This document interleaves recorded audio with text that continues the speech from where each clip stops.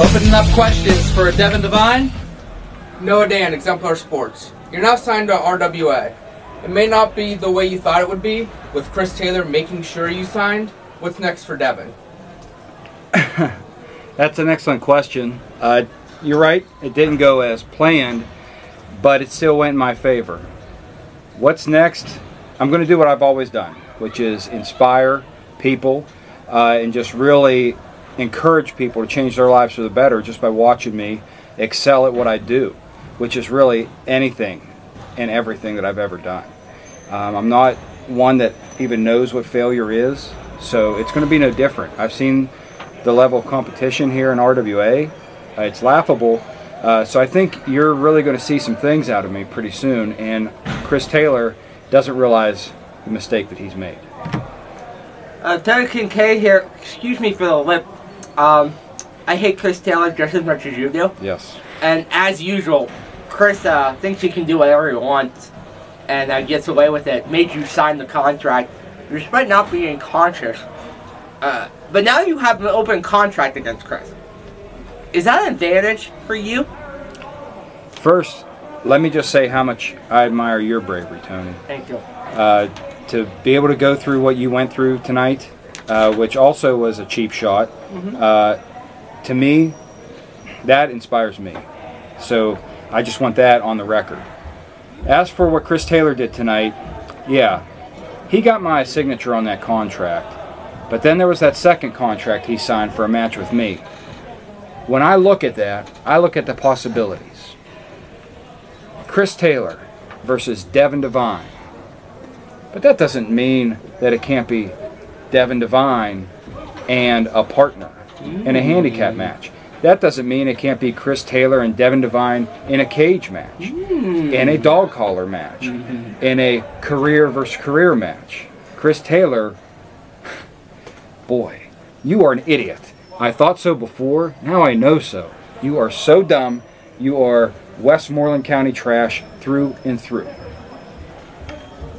Any other questions? Michael Doc Doherty here for RWA commentary. Also of WrestleSense podcast. I was wondering, what makes you think, Devin, that you still have it? You know, we know you have a lot of talk, but can you still go? And also, can you defeat a true hero in RWA and one Chris Taylor?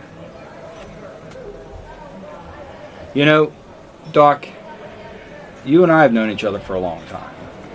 And I always knew you to be somebody of low morals and low quality of mental capacity.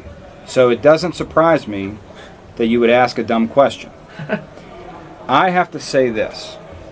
When I contacted Chris Taylor about coming to RWA, I had plans.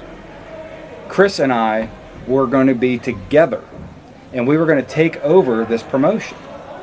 Chris totally disrespected me and acted like he was doing me a favor, giving me a history lesson on RWA, his past feuds, who's he's been teamed up with, who's he's gone against. I don't care about any of that.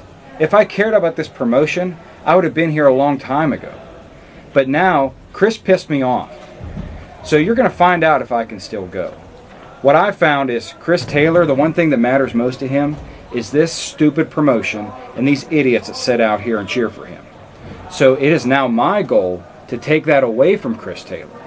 And if you have a question about whether or not I can go, all you have to do is sign your name under Chris's name. And you could be in there as well. I am done being a nice guy. And I am done playing by the rules. You want to see how bad it can get? Then just sit back and watch. Pretty soon, I'll be your hero as well. I'm not going to answer any more questions because I feel uh, Doc is just going to ruin this with his stupidity, Agreed. just like he does the commentary. I listen to it, it's garbage. Uh, so before I lose my cool and let down all the young children that look up to Devin Devine, I just want to say thank you. Have a good night and a pleasant tomorrow. Closing questions for Devin Devine. No, there's none. Shut up. You're an idiot.